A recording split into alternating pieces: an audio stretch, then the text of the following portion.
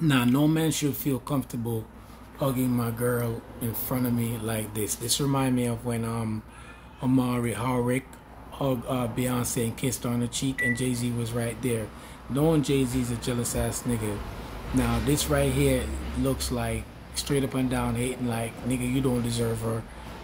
You know what I'm saying? Like, but you never holler at her when she was single. Like, you was nowhere on sight. Like, this is just very distasteful. And I would definitely have a conversation if this was my girl. You know what I'm saying? But this is this is just total disrespect. And the fact that you didn't acknowledge him shows even more disrespect. Like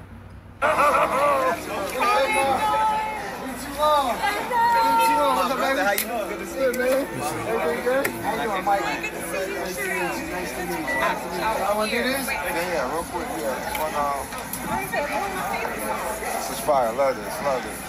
Dion will love this, absolutely. One more, one more.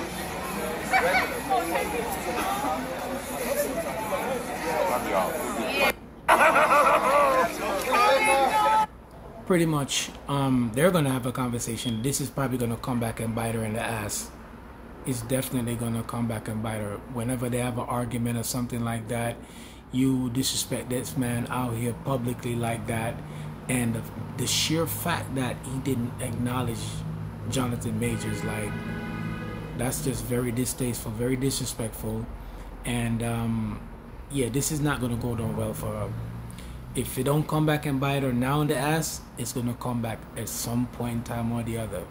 You see, you know, you notice how he helped everybody, acknowledge everybody, and he didn't acknowledge this man. Like, yo, straight up on uh, disrespect. And this man is very, very uncomfortable, very uncomfortable. And I could see why black people don't like to see other black people happy, even women too.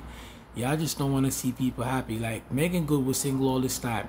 You was never nowhere around anything of the sort. Like what kind of friendship is this? This will definitely raise some eyebrows. Like, come on now. This this is this is not it. This is definitely not it. Like he didn't even see this guy. It's not like he was out here beating on chicks and shit like that. But like, yo, you're not happy for that man. You're not happy. You're just you're just a freaking hater. Like that's just very very distasteful. Very very distasteful.